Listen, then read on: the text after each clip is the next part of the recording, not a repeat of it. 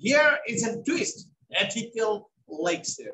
That whenever you are getting the invitation, then what is the ethical and what is that non-ethical part? Even I'm uh, telling you, if you are in the public speaking, that your time boundness, your presentation, and your body gesture, each and everything will come under the ethical lectures or the presentation.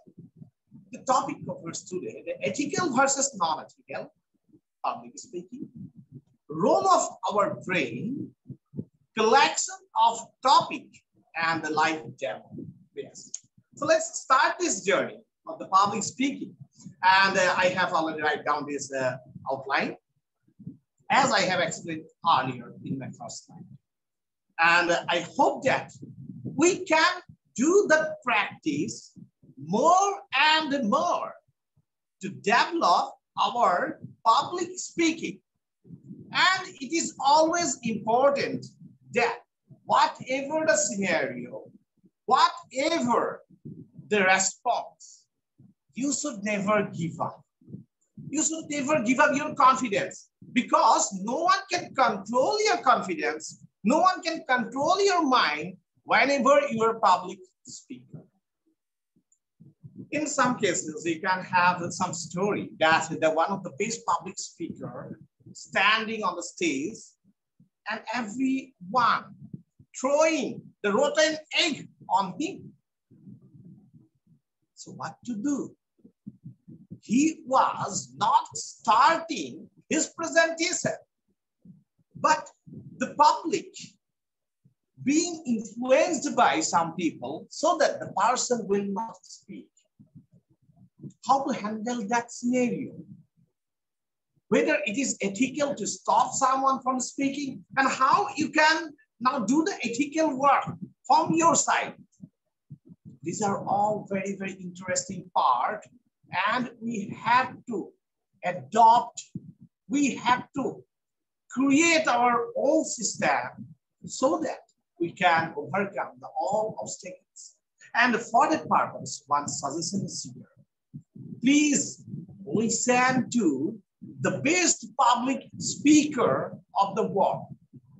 You have to confirm yourself that what will be your language, what will be your gesture, what will be your body language whenever you are into the public speaking. Now, one fantastic slide in front of you. That is the ethics. Ethics. It's start with the good or bad. Well, so whenever you are into the public speaking, it is always being questioned by the people that whether if I'm giving that one is good or it is bad or wrong.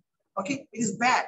So what are the topic can be selected for public speaking and which one you can say that it is good or it is bad. And again, right and wrong is also there. We have to understand the rules. First, you have to frame the rule in your mind, which your moral principle, moral principle that uh, say, I would like to speak in a university. And in this PACERS function, in the freshman social, I would like to give my presentation. I would like to give the public speaking for 10 minutes. They have given me the 10 minutes to speak about educational uh, work or the influence of education or research or to encourage the student. In this case, what will be the good and the bad? So if I will say here, the good, you are not violating the rules and regulation of that organization. You are not presenting anything which are embraced